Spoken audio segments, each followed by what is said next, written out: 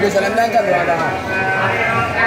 एक एक एक है बगानी है मतलब है मज़ा ये साथिया,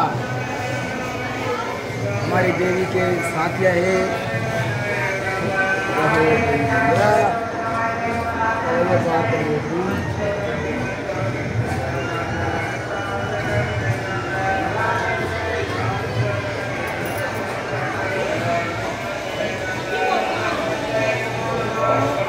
দেওয়া কোনো কারেন্ট পার্টি পার্টির মাঝে আপনি